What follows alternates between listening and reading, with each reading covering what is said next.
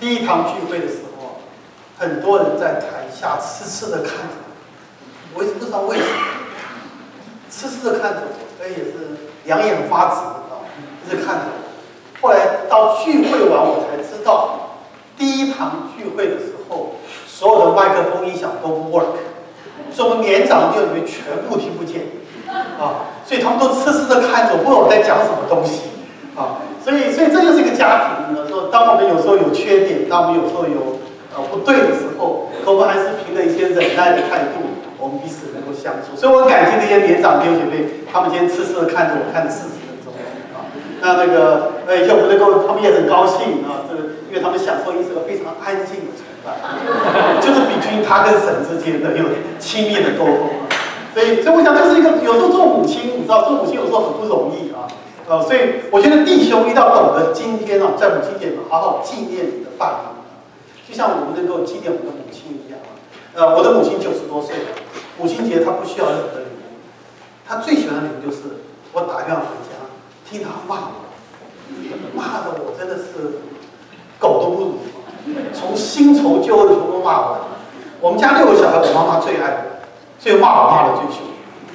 所以每次我妈妈骂完我，她血压就降。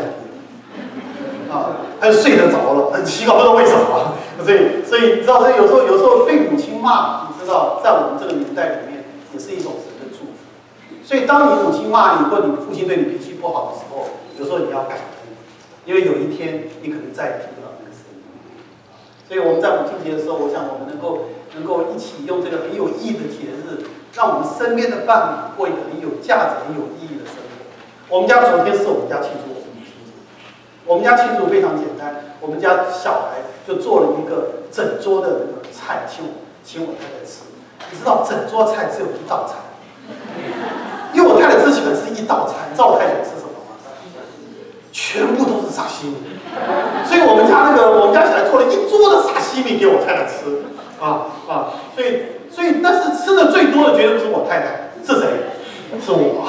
所以有时候人家庆祝，我们也得到福气，对不对？所以心。就不要太狭窄，没什么好嫉妒，没什么好那个抱怨的。其实有时候，有时候我们在神里面，我们彼此有时候彼此同工，我们彼此忍耐，我们彼此往前行。其实我觉得都是神的恩典的神的。所以盼望今天你的母亲，盼望今天你身边的伴侣，我今天在你周旁边是做母亲的，因为你有属天的智慧，你心中有神的呼召。你让旁边的人做母亲，他能够得到安慰，得到祝福，我们就愿意献上。那今天我们讲的题目，我们一起翻到约翰福音第十九章，我们要从二十五节到二十七节。约翰福音十九章二十五节到二十七节，我将经文打在这上面，我们一起来读。约翰福音十九章二十五节到二十七节，来找到了，我们一起来读。预备，请站在耶稣十字架旁边有他母亲与。他母亲，并俄罗巴的妻子玛利亚和摩大拉的玛利亚。耶稣见母亲和他所爱的那女站在旁边，就对他母亲说：“母亲，看你的儿子。”又对那女说：“看你的母亲。”从此，那女就接他到自己的家里去。我们在这经文里面，我想是一个呃，应该是大家非常熟悉。在经文写到耶稣基督钉十字架，在几乎到最后他要去世的时候，有这一段很清楚的记载。我们常常一直问说，为什么耶稣基督在十字架上成就的救恩是那么的伟大，为了全世界？可突然耶稣基督居然缩影到一个他的母亲的身上。那这个这段经文在耶稣基督整个死亡、整个基督教教义里面，整个基督教的基督教会的教导里面有什么样的重要性？我今天愿意跟你来分享一下，什么叫做。耶稣基督的恩典，什么叫做耶稣基督的作为？在这个经文的背后，我们必须了解一些很简单的一些背景。当耶稣基督从天上从道成肉身来到地上的时候，我们知道耶稣基督是为了你跟我的罪，为了永生的缘故，耶稣来到世界上，使我们的生命在短暂的生命里面，我们有一个永恒的盼望，使我们知道我们生命不再孤单。我们生命不再捆绑，我们生命不再有限制，因为我们认识那永活的神，在我们生命里面有他的力量，有他的带领，有他的见证，所以我们有信心能够走生命的道路。但是我觉得耶稣基督另外一个很重要的使命是，耶稣来到世界上不是跟你们讲一些很舒服的话，耶稣不是讲安慰的话，耶稣对当时的时代、当时的文化，还有很多的地方，耶稣跟当地人非常的冲突。所以耶稣几个重要的冲突的对象有法利赛，有文士，有撒都该，这是当时的知识分子，当时所谓的呃这个是社会的中间人士。当时所谓的教会的领袖，当时所谓的社会的中间分子，当耶稣基督面临到这些人的时候，我们就发现耶稣基督一个很重要的一个主题，就耶稣常常向我们挑战：女人在你生命里面是什么样的地位？女人在你生命里面到底是什么样的地位？为什么耶稣有这个挑战呢？因为在当时第一世纪的时代里面，女人只有两个最重要的任务。就是什么？服从，服从，再服从。在他们还没有结婚的时候，一个女人要服从她的父亲，父亲讲什么事就什么事。一个女人在结婚以后就服从她的丈夫。她是一个没有读书他，是没有知识的，他是不能工作的，他是一个在社会上面不被人家所重视。所以在第一世纪犹太人的拉比有一句很有名的话，他说 t o r a 就是就是摩西五经，就圣经。”圣经情愿烧掉，都不要教女人怎么这是很有名的话。追女人出门的时候要带上围巾。追女人是一个还没有地位、还没有价值的社会上的人。可是耶稣基督走在这个时代，他走进一个女人没有地位的时代里面。可我们看见圣经在整个四福音里面，耶稣跟女人有很多很重要的接触。其中有一个很重要的接触，在耶稣基督有三次跟女的接触里面，我们可以做一次代表。第一个，耶稣基督在约翰福音第四章第七节到五章三节里面，耶稣讲到耶稣在井边遇到一个撒玛利亚。耶稣犯了很多当时时代不允许的错误。第一个，一个男人单独跟一个女人在井边会面，这是一件很不道德的事情。第二件事情，耶稣不但跟一个女人会面。这个女人是撒玛利亚人，是以色列人不屑于谈话的对象。男人我都不想理他，何况女人？第三个，这个女人不但是女人，不但是撒玛利亚人，而且这个女人是连撒玛利亚人都讨厌的女人。所以这女人是社会方面唾弃。她在中午的时候，她敢去打水，因为连撒玛利亚人都不愿意跟她在一个井里面把水捞上来喝。但是我们知道，耶稣基督坐在井边，耶稣等他。而且我们都知道，圣经在讲，耶稣基督这个时候连饭都不吃。耶稣等待这个女人，要改变这个女人的生。要说这个女人认识耶稣以后，她回到撒玛利亚，她说：“我遇到了弥赛亚。”很多人因为她的见证，生命得到翻转，生命得到更新。所以我常常觉得，一个女人最重要的是，你是否从神那边，你有得到呼召，你有得到启示，你是活出一个神要你活出来的样子。耶稣不满意撒玛利亚女人的生活，耶稣不满意他对自己的看法，耶稣更不满意社会上面对撒玛利亚这个妇人的价值。所以耶稣翻转他的生命，更新他的生命。第二次，我们看见耶稣基督。在路加福音第十章三十八到四十节记载一个非常有趣的故事，讲了这个女人坐在耶稣的脚前，听耶稣在讲道。各位弟兄姐妹，在当时我讲过，当时的法利赛人说：“我情愿把圣经拿去烧掉，我都不要教导一个女人，因为教女人是最没有价值，是最……因为他是那么笨。”我不知道我们昨天有没有丈夫，觉得跟你太太讲话很浪费时间，有没有这种丈夫？举手看看。你知道每次叫弟兄举手，弟兄都没有举手；叫太太举手，很多太太都举手啊。所以，所以，所以，他他觉得我没有必要跟这女人讲，干嘛跟她讲？你知道到今天两千年了，男人还是没有变，很多弟兄还是没有变。耶稣愿意让那女人坐在他的脚前，聆听他的教导，表示耶稣基督知道他在地上的使命，他不是单单把他使命传递在一个男身上。耶稣也将他的使命传在女人的身上，所以耶稣要女人学习，耶稣要女人长进。耶稣让女人坐在他的脚前，聆听他的教训。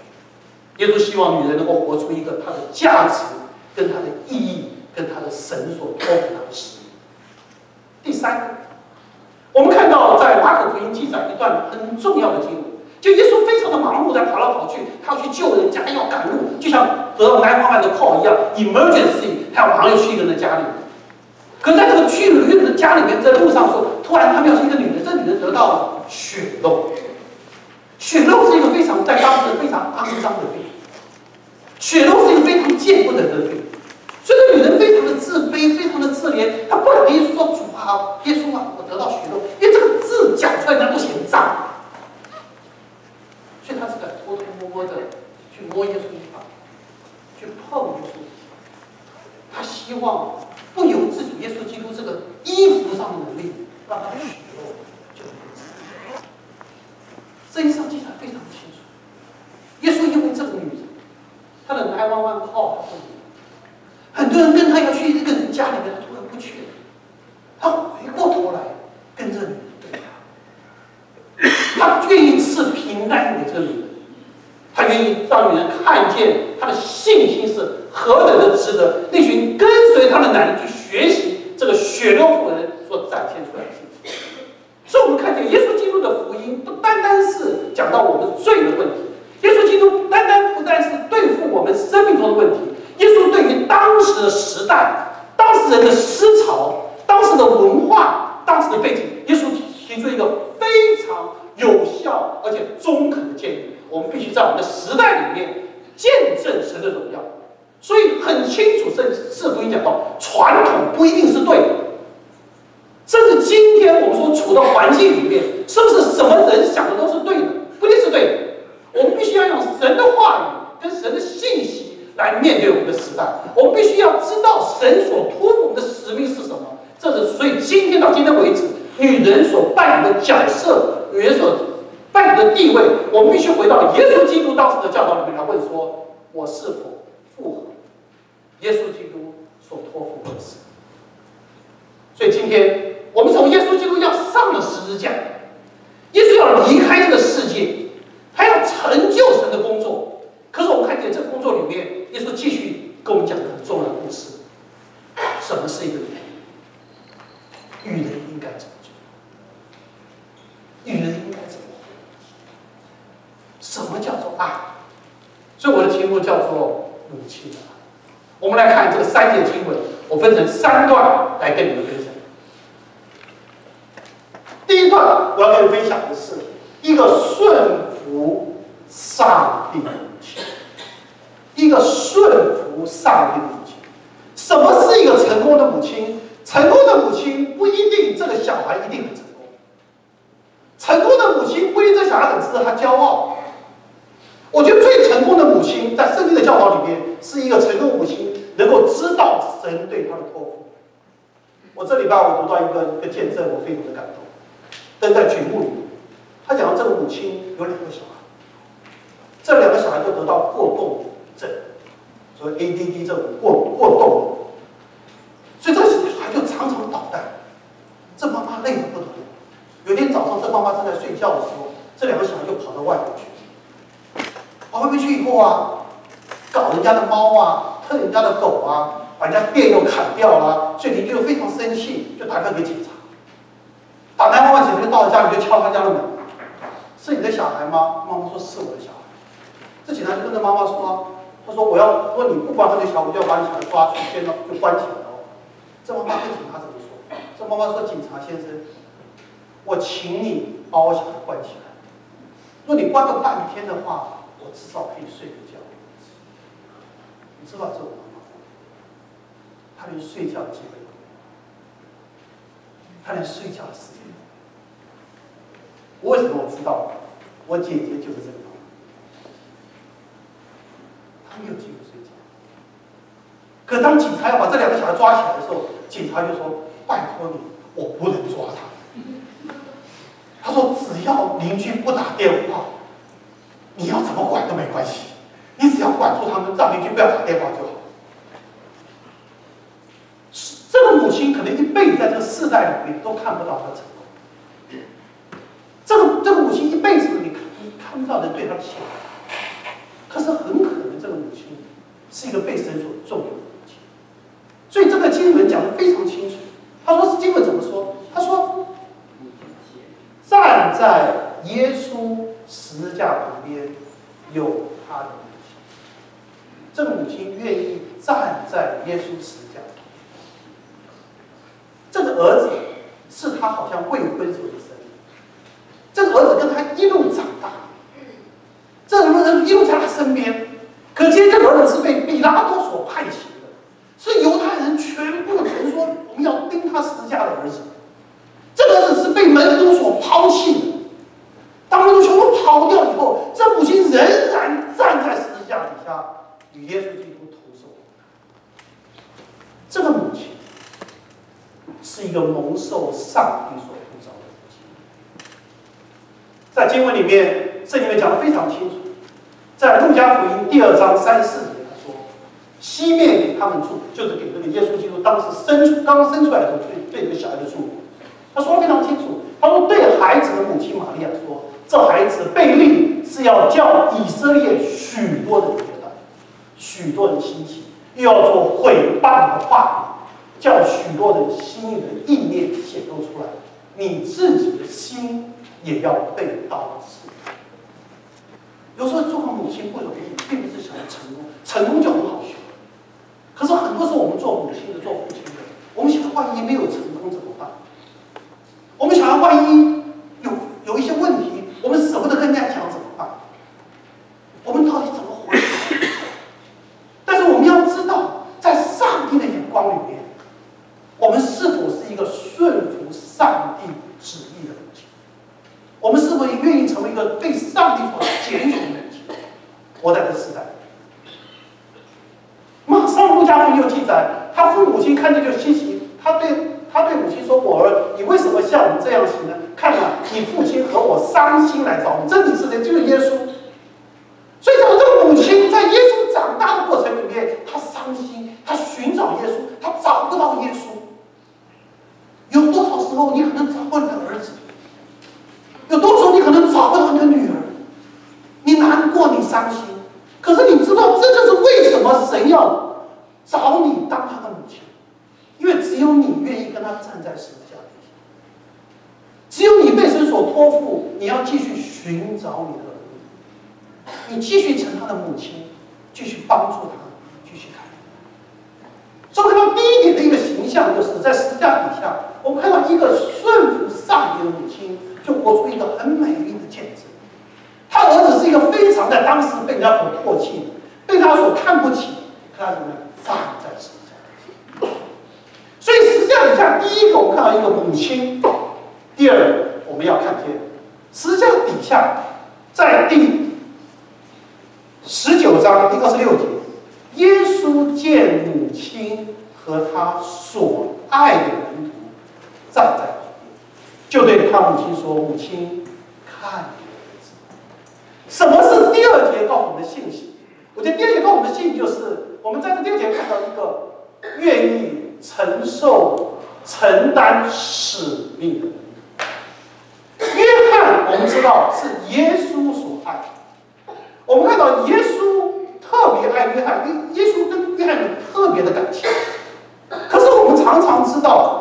一个能够承担神的使命，一个能够跟小孩能够同行的母亲，一个能够在苦难里面也仍然不抛弃他小孩的母亲，其中一个最大的力量什么力量？其实就是爱。我们常常在我做母亲的时候，我们为什么会疲倦？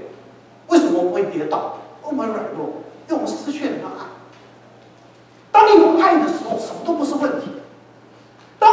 我对我对母亲学习到我爱我的年老的母亲的时候，我母亲怎么骂我，都笑嘻嘻的。哎呀，她骂我越久，我越高兴。我就我我很感恩，我跟神说，我说因为我知道我母亲骂我，所以我知道我母亲记忆力还非常好。我这母亲头头脑一点都没有乱，我为她感恩，因为到最后我的父亲不会骂我。我父亲最后看着我，你是谁？这是我父亲最后跟我讲。我要把我要把我父亲绑在轮椅上面，我要抱着他要跟他打架。我们生命里面很多时候，神我们承担的使命是很困难的，而且神给我们承担使命是我们不愿意要承担。可是我觉得很重要的就是讲到一个什么，有个爱。我们当有爱的时候，我们就有能力走下去。所以彼得三次不认主。你看耶稣怎么呼召彼得，怎么改变彼得？严格来说，彼得并不因为耶稣基督死里复活，彼得重归耶稣基督的门徒的行列。因为彼得看到耶稣坟墓是空的，照样去打。耶稣在那个在那个在那个湖边等他，让他打到了一大堆鱼。耶稣问他说：“你爱我比爱这个更深？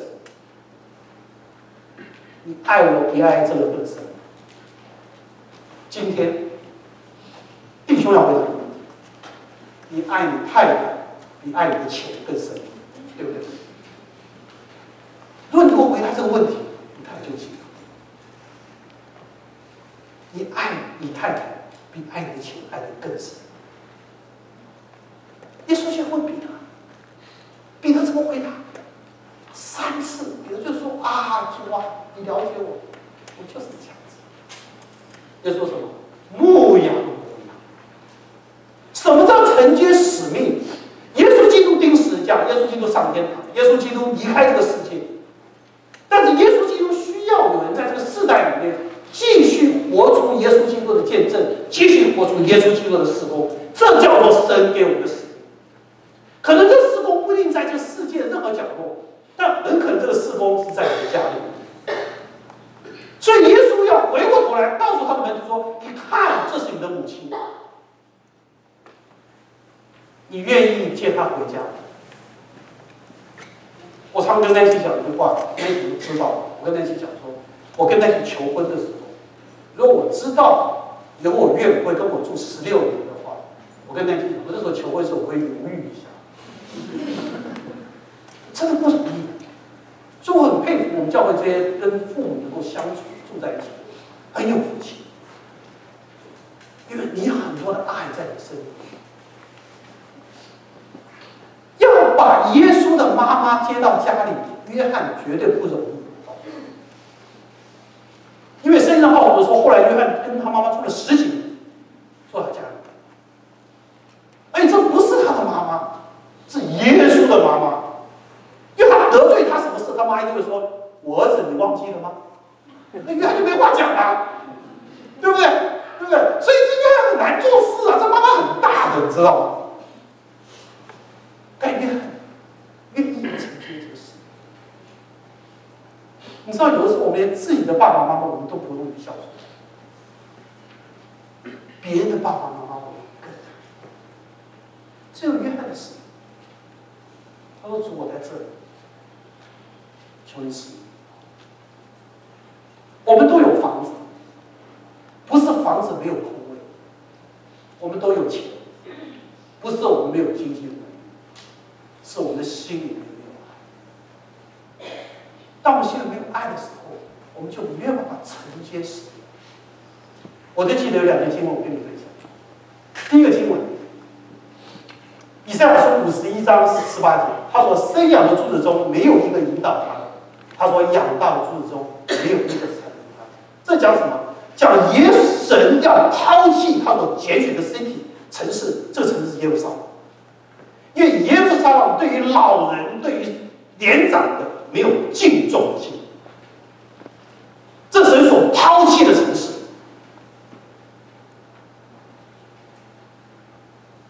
诗篇。二十三篇二十二节，你要听从生你的父亲，你母亲老了，也不可怎么样藐视。他老，你不可以藐视。很多理由你跟他讲不通，很多事情你没法跟他沟通，可是你说你不可以藐视他，你要尊重他，你要敬重他，他再老。都是一个被神所创造的。神要你承接他的使命，能够在这个世代能够彰显神的荣耀。但彰显到最重要的是，在家。最后，我们看到最后一节，这里讲到说，说就对他母亲说：“母亲，看你的儿子。”二十七节又对那门徒说：“看你的母亲。”下面说：“从此那门徒就接他到自己家去。”所以很重要的是，这个母亲愿意回头来看到说，约翰就是他的儿子。所以约翰愿意回头来看，就他母亲。应该他们两个一起看耶稣才对呀，为什么看母亲看儿子呢？可是我们看到一个全新的属灵的家庭，就在耶稣的十字架底下产生。什么产生？就是我们今天做母亲我们不但懂得照顾自己的小孩，我们也知道我们教会就是一个属灵的家庭。我们要必须在我们的母亲的身份里面继续扩展我们神的托付。我们不但能够爱我们自己的小孩，我们也能爱我们周遭神所托付的对象。可能是你哥哥的小孩，可能是你妹妹的小孩，可能是别人的小孩。可我们懂得怎么样去爱别人的小孩，把耶稣基督的爱能够扩展到不是你肉身的父母身上，把耶稣基督爱扩张到不是你肉身的亲属上面。你做一个属灵家庭的母亲，我们也懂得在教会里面，我们也懂得在生活里面，我们怎么尊重我们周遭的年长，我们懂得怎么跟他相处。我们看到一个新的属灵家庭，在这个时候就把他接回家里面，从此就住在他的家里。什么是一个新的属灵家庭？其实你一直强调这个东西。马太福音十二章五十节：凡遵行我天父旨意的，就是我的弟兄姐妹和母亲。耶稣自己说：什么时候耶稣会住到你家里？什么时候耶稣成为你的兄弟、你的姐妹、你的父母？什么耶稣跟你亲有亲属的关系？是你活出耶稣督所托付你的事，是耶稣基督活出耶稣基督所托付你的事。凡遵行我天父旨意的，耶稣基督就住在你家。